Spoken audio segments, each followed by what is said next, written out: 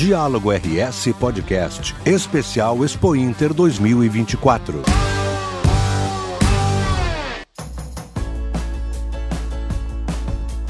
Terça-feira, 27 de agosto, dia 4 de Expo Inter. E a gente segue com nossos episódios diários aqui da Casa da Secom, no Parque Assis Brasil. Eu sou Andréa Martins e, junto com Nara Sarmento e a edição de áudio de Marcelo Ribeiro, começamos pela conversa que tive com o curador da exposição Sem Fronteiras do projeto Estância da Arte e, na sequência, a Nara Sarmento entrevistou o vice-presidente da Federação dos Trabalhadores na Agricultura, Eugênio Zanetti, sobre a participação das agroindústrias familiares nesta edição da Expo Inter.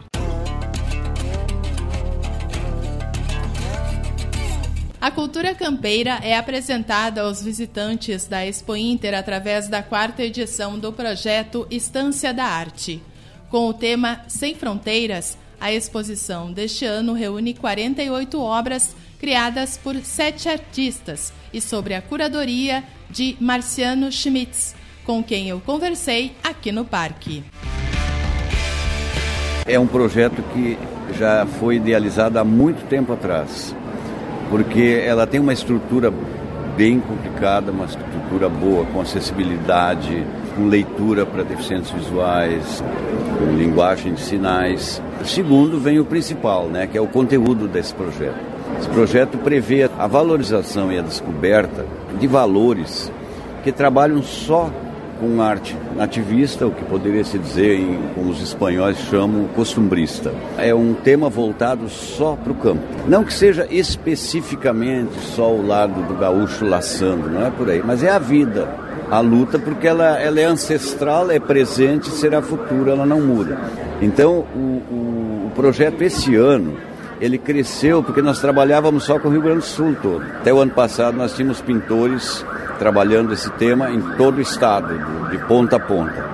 Esse ano nós fomos além, nós pulamos a fronteira e nós temos argentinos que trabalham o mesmo tema. É interessante porque as paisagens mudam, mas a lida é a mesma. Porque esse espaço aqui atinge bem mais do que um museu ou uma galeria, porque ele é uma galeria aberta. Nós temos um fluxo de pessoas, inclusive desde o do cara que faz lida do campo, né, até empresários, pessoas comuns, todos têm o acesso e tem a devida explicação com material gráfico. E com isso nós conseguimos então ir divulgando artistas de todas as áreas. Esse ano nós temos aqui de todo o interior e temos dois artistas argentinos trazendo a experiência deles. Temos escultura também, de dois escultores aqui rio-grandenses, Caê Braga é um e o Gustavo Nacli é outro, trabalhando o mesmo tema, com variantes, né? Um trabalha mais o realismo mágico dentro do, do, conto gaúcho, da lenda gaúcha, e o outro trabalha, é um trabalho de lida, se tu olhar, já é aquela lida rude do dia a dia, né?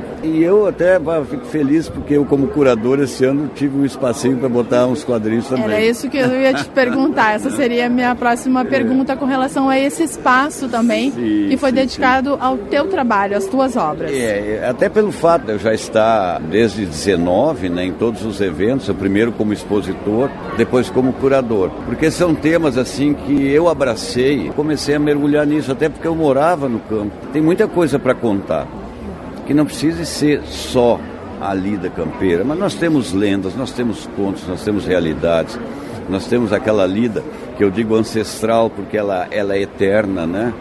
O trabalho com o gado, com a criação, o preparo da terra, ela é eterna, ela, ela é agora, foi vai ser sempre. É o próprio espírito da Expo Inter também, né? Então não existe espaço melhor do que esse para nós fazermos essa abordagem. E tu vais ver, por exemplo, que tem estilos bem diferentes, né? Tu vai ver assim que dentro desse aspecto da lida, paisagens diferentes, mas a lida, o, o indivíduo, a, a, os animais, todos são os mesmos, quer dizer, nós não temos fronteira, na verdade, né? não existe, é Uruguai, Argentina, Rio Grande do Sul, Santa Catarina, por aí. Tu tem o quê? Tu tem uma grande nação dentro da outra, dentro das outras, né? Então, para a gente encerrar, um convite para o público que virá, que está aqui na Expo Inter, vir conhecer a Estância da Arte. Olha, o convite é, é, é até o, o próximo domingo, né? É, eu acho que as pessoas, como eu tenho visto, as pessoas que têm apreciado o trabalho saem daqui é, impressionadas, saem bem impressionadas, por sinal, porque justamente estão topando. Nós temos muitas coisas, nós temos daqui um pouco uma, a, a, o auge da, da, da, da feira, é justamente a tecnologia do campo, os animais, a estrutura. Mas nós temos aquele outro lado, né? Não de quem faz isso, mas de quem contempla, né? Que é o caso do artista, que faz a crônica disso. E eu convido as pessoas porque é realmente um espetáculo muito bacana.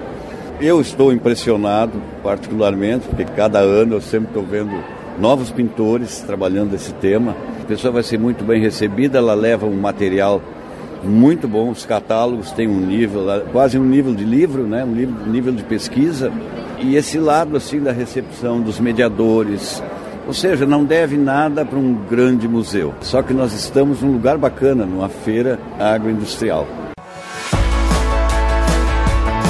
A exposição Sem Fronteiras do projeto Estância da Arte segue até domingo, 1 de setembro, das 8 da manhã às 8 da noite, no Pavilhão Internacional aqui do Parque de Exposições Assis Brasil. Vice-presidente da Federação dos Trabalhadores na Agricultura FETAG, Eugênio Zanetti. Dia de sol aqui na Expo Inter. Como é que tá? Para mim é uma alegria poder estar aqui no programa e justamente na Expo Inter. Sol maravilhoso, esse friozinho, mas o gaúcho ele adora, né? Tá é. no, no friozinho, enfim a expectativa aqui de uma grande Expo Inter novamente, né? A gente tinha bastante dúvidas, né, para ser uma Expo Inter da superação, enfim, de como é que ia sair a Expo Inter, né? Mas pelo visto tudo dentro da normalidade, superamos, né? Já no primeiro dia batendo recorde, isso é muito maravilhoso. Ah, a gente vai falar sobre isso, isso é o nosso principal assunto. Mas eu queria que o senhor falasse como é que vocês, como é que a FETAG, como é que o senhor tem é, recorrendo aí pelos pavilhões e conversando, especialmente com os pequenos produtores, como é que está o anímico deles. Porque a gente teve há três meses, aí recentemente, essa tragédia climática que afetou a todos, né? E logo em seguida não sabia nem se a gente ia ter Expo Inter, né? Eu lembro do governador Eduardo Leite dizendo: não, nós vamos ter. Vamos ter sim, vamos bancar, vamos chamar as entidades, os co patrocinadores, produtores, enfim, chamar todo mundo uhum. para fazer isso acontecer e cá estamos, que coisa boa, né? Mas como é que o senhor percebe o produtor quando a FETAG acolhe e conversa com eles? É, é, realmente, lá, lá no mês de maio, né, até praticamente junho, tinha mais de um metro d'água em todo o parque, né? Então é. surgiu realmente essa dúvida, bah, não vamos ter condições de fazer Expo Inter. E quando surgiu essa notícia de colocar em dúvida, os produtores logo disseram assim, nossa, a gente precisa se recuperar. Todo mundo tá reagiu imediatamente, é, né? Exatamente, né? Porque a gente teve muitas agroindústrias que tiveram dificuldade de acesso, dificuldade, as principais feiras que a gente tinha ali, passado a Expo Direto e a FUBRA, então todas as outras já foram canceladas ou remarcadas. Ah, exatamente. Né? Então estava todo mundo na expectativa. O calendário se desestruturou completamente. Né? Exatamente. Né? Então todo mundo estava agora na expectativa de fazer Expo Inter, justamente. Vamos fazer do jeito que dá. Enfim, se esse ano não quebrar recordes, que é sempre uma expectativa de ser uma Expo Inter melhor do que a última, né? Mas esse ano ninguém estava falando em bater recorde de público, de faturamento. Não, é. vamos, vamos fazer uma Expo Inter mais para simbolizar a resiliência do povo povo gaúcho, aquela retomada, vamos arregaçar as bandas. Superação, como su diz o slogan, a né? Expo Inter da superação, né? Realmente. Mas graças a Deus deu certo, né? Tá dando certo. Claro, tem muitos percalços, muitas dificuldades, né? Também eu vi o parque, toda a equipe do parque, então de parabéns, né? Porque o trabalho que foi feito aqui, a maneira que tinha ficado o, o parque depois dessa tragédia e colocar ele numa mínima condição de estar tá recebendo toda essa quantidade de público, todos esses expositores, com toda essa tragédia que aconteceu, realmente é, é um desafio. Vamos falar de perda antes da gente falar da parte boa, né? Que é a superação e quebra de recorde que a gente já teve no pavilhão. Que momento é esse de reconstrução para o pequeno produtor?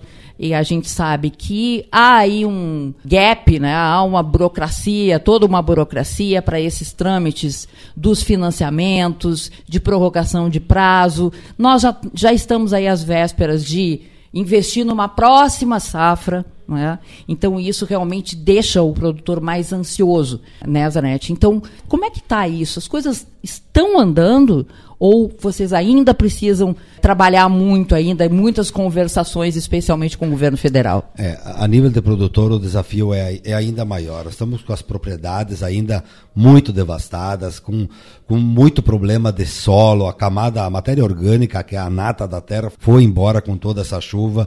Muitas áreas uh, ribeirinhas aí com areia Daí então precisa fazer todo um trabalho de correção de solo e para dificultar ainda a questão maior, o estado do Rio Grande do Sul vinha de três estiagens consecutivas Exato. em muitas regiões. Já né? tinha um passivo. Né? Isso, né? e os produtores, como não colheram devido às estiagens, eles foram prorrogando as suas dívidas, jogando elas para frente, porque uhum. não tinha condições de pagar. E agora a conta chegou para pagar, e esse ano, então, com essa tragédia toda, então o, o produtor, nós temos em torno de 30% dos produtores que eles não têm crédito, não têm limite de crédito para fazer a próxima safra. Uhum. E está ainda com essa toda essa indefinição, quanto desconto eu vou ter? Eu vou ter desconto? Qual vai ser meu prazo? Qual, qual vai ser meu prazo? Eu vou conseguir ter crédito para fazer a próxima safra que está batendo a porta? Né? Estamos chegando aí às vésperas do, do, do plantio, enfim, em algumas regiões o milho já sendo plantado, principalmente a região das missões aí. Então tem, é um desafio imenso. Então a gente precisa de agilidade por parte do governo federal no, anúncio dessas medidas e principalmente a efetivação, porque mesmo aquelas que foram anunciadas nas últimas semanas, o rebate dos 30% para quem perdeu um mínimo de 30%, depois a possibilidade daquela comissão especial, meu medo, minha maior preocupação é que isso aí vire em burocracia, uhum. né, e que demore muito para se efetivar pro produtor e ele não consiga fazer a próxima safra. Se ele não fizer o plantio Exato. na expectativa de colher uma safra cheia finalmente, de ter um preço justo depois na hora da, da comercialização, se ele não conseguir fazer o plantio, como é que ele vai se tirar dessas dívidas? Não, e outra né? coisa, além dessa situação de, de endividamento que é muito grave, isso tem o, o desdobramento disso vai cair na nossa mesa né? Porque tem essa, a questão do plantio do milho, por exemplo. O milho é importantíssimo, porque é o, o, insumo da ração. Aí a gente tem a soja. E aí, se, se você tem um insumo como a ração caro, isso vai. Onde é que isso vai refletir? Né? Na alimentação dos animais e, consequentemente, no preço lá na ponta para o consumidor. Quer dizer, o dano disso, dessa cadeia que não anda, é terrível, né? Realmente, e a gente percebe que tem todo um, um, apelo, o próprio governo federal, o presidente Lula tem, tem falado, não, precisa produzir comida barata, daí tem que baixar uh, o valor da inflação dos alimentos. Agora, olhando para o produtor, com toda essa dificuldade, como é que o produtor vai produzir comida barata com o custo que está para produzir? Hoje não, nem mais problema é preço. Né? Porque o preço é, vamos dizer assim, tá bom. O problema é que é para ele produzir, tá tem se equipara. Às vezes o custo de produção é maior do que o preço que ele recebe lá no final. Então, isso tem que ter olhar, né? E se agricultura, especialmente a agricultura familiar, a produção de alimentos, é, precisa combater a fome, precisa melhorar a questão da inflação dos alimentos, tem que ter investimento por parte do governo. A agricultura tem que ser uma das prioridades por parte do governo federal para que a gente possa dar a volta em toda essa dificuldade aí e além do mais, né, de toda essa tragédia que a gente viveu, o estado do Rio Grande do Sul precisa de um olhar diferenciado. Sabe, vice-presidente Zanetti, que foi uma coisa que nos chamou muito a atenção, né, da capacidade, inclusive, de mobilização. A FETAG, inclusive, participou, que foi esse movimento, né, o, o SOS Agro, né, que foi uma coisa tão legítima de pedido de socorro mesmo, nada partidário, nada político. A gente viu ali várias forças é, reivindicando justamente o que o senhor está reportando aqui para a gente. Né? Ou seja, não adianta fazer propaganda, não adianta divulgar e anunciar sem que as coisas sejam efetivas, né? E se realmente, se queremos comida barata na mesa, nós precisamos apoiar o agro, isso é fato. Exato, né? Esse movimento SOS Agro é a voz do agricultor. É o agricultor pedindo Exato. socorro no desespero que ele vem vivendo, do desespero de não conseguir fazer a próxima safra porque ele está endividado. Então a gente precisa né, ter esse olhar de prioridade, a gente precisa de agilidade nessas medidas, porque ele é um movimento que apoia a pauta que a FETAG levou para o governo federal, a pauta que a Farsul também levou para o governo federal quando se trata dos produtores maiores, mas enfim, seja o grande, seja o pequeno, o médio produtor, nesse momento é de grande dificuldade, né? É um desafio imenso. Afetou todo mundo, né? Safra, e os né? pequenos até, eu acredito que mais, né, vice-presidente? Porque uh, a gente sabe da capacidade de investimento, do produtor que tem mais capital, está né, tá mais capitalizado, né, tem um capital de giro maior, enfim, uma propriedade maior é, supõe-se que não que não haja perdas, mas supõe-se que ele vai ter uma capacidade instalada melhor, maior do que o pequeno. Exato. O agricultor familiar, né? eu, eu, eu evito falar o termo pequeno produtor, porque parece que tu diminui ele. É, nós, nós não, somos, é ele, é, ele, é, ele é grande é, produtor em pequenas áreas de terra. Não é um bom termo, o senhor tem razão, é verdade. Ele é um grande produtor em pequenas áreas de é, terra. Né? Então, essa é a, é a questão. Mas, realmente, a dificuldade dele é muito maior. Se não tiver crédito para ele acessar os insumos para fazer a próxima safra, dificilmente ele tem condições de fazer, de tocar uma lavoura. De ter com, esse capital, né, esse volume né? de capital para investir. Bom, mas vamos lá, para a gente fechar, vamos falar da belíssima notícia, né? Que todo mundo, ninguém fala de outra coisa aqui, que é o recorde batido justamente pela agroindústria familiar, o pavilhão, nesse sábado, né? Então passou ali de um milhão, né? Isso, ultrapassou de vendas. um milhão de reais. Nunca no primeiro dia tinha atingido a meta de um milhão de reais. Né? Então isso é fantástico, né? porque a gente percebe que cada vez mais a qualidade, a tecnologia empregada naqueles produtos ali da agricultura familiar, a inovação, né, desses produtos aí tem sido algo ali fantástico. E todos os anos as agroindústrias se reinventam, elas lançam novos produtos, enfim, é uma infinidade de experiências, sabores. Às vezes as receitas vêm lá da avó, passou para a mãe, e daí vem essa nova geração ali, a juventude dando um show ali no pavilhão. A gente tem depoimentos ali fantásticos que mesmo aquela agroindústria que é tocada às vezes pelo pai, né, que tá, a agroindústria tá no nome do pai ou da mãe, tem a juventude lá que uma se formou em engenharia de alimentos, uhum. a outra se formou em administração, para poder, hoje em dia, a modernização e principalmente né, a, a gestão dessas agroindústrias é um trabalho muito profissional muito profissional e uma qualidade que tem esses produtos para exportar para qualquer canto do mundo. É verdade. Pela qualidade que tem esses produtos. 1 milhão e 20 é o nosso número. É isso, né? Então, isso. isso, isso é incrível. O ano passado foi em 910, se não me engano. Uhum. Mas, mas, nós já passamos no primeiro dia nessa edição, que é uma edição que, em princípio, era atípica né, para se alcançar esse tipo de recorde. E a gente vê, como o senhor falou, a gente vê uma presença forte das mulheres né? Uhum. E desses jovens, porque antigamente o sonho de todo jovem do campo, né, como o senhor lembra, era vir para estudar na capital. E hoje ele já enxerga o campo dentro da sucessão familiar, ele vai, ele sai, mas para se eh, qualificar e volta, né? Que é, é muito bacana isso, né, de ver esse movimento da volta dos jovens para o campo e as mulheres assumindo um protagonismo também. Exato, a gente tem muitos relatos, experiências de, dos jovens que ele saiu para trabalhar fora e daí ele volta para a propriedade e ele enxerga naquela na propriedade e, no, na, e nas agroindústrias ou no artesanato ou na produção de flores a oportunidade dele ser o dono do próprio negócio né? Ele fazer os seus horários e principalmente ele está construindo um futuro melhor, com qualidade de vida, trabalhando lá no meio rural, junto com a família. Isso é fantástico. E a, essa migração da juventude para o meio rural ela está cada vez mais consolidada e o protagonismo das mulheres, né? A gente sabe que mesmo a agroindústria está registrada no nome do marido às vezes, né? Mas a mulher é o cérebro, é o centro aí da, da, da, da dessas agroindústrias no comando, enfim, mostrando, né? Que elas têm a sua independência financeira, elas, elas buscam né, essa qualidade, esse carinho, esse amor na elaboração desses produtos aí que fazem o sucesso, que é o, o pavilhão da agricultura familiar. Nem todos que visitam uma Expo Inter compram um trator, um automóvel, um animal. Agora, entrar no pavilhão da agricultura familiar e não se encantar, não sair com pelo menos um produto lá numa sacolinha, é praticamente impossível. Verdade. Para a gente encerrar, então, vice-presidente Zanete, é, qual a expectativa da FETAG para então do que vocês já perceberam já nesses primeiros dias de Expo Inter, qual a expectativa de vocês para ao final a leitura de vocês do que, que vai ser essa Expo Inter depois de tudo que a gente já comentou de toda a situação, enfim, que ocorreu?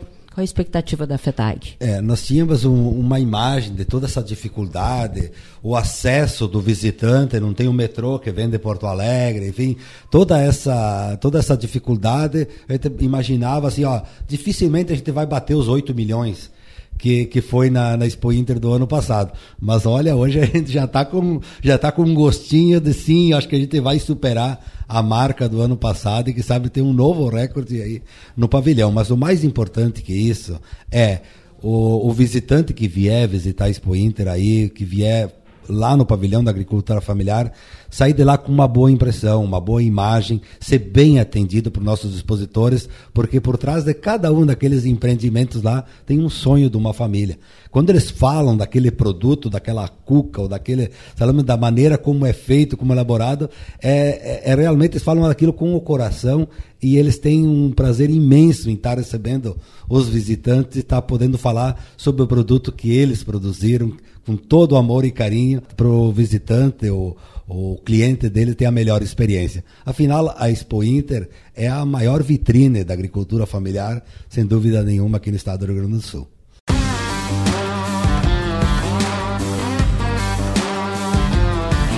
Diálogo RS Podcast fica por aqui.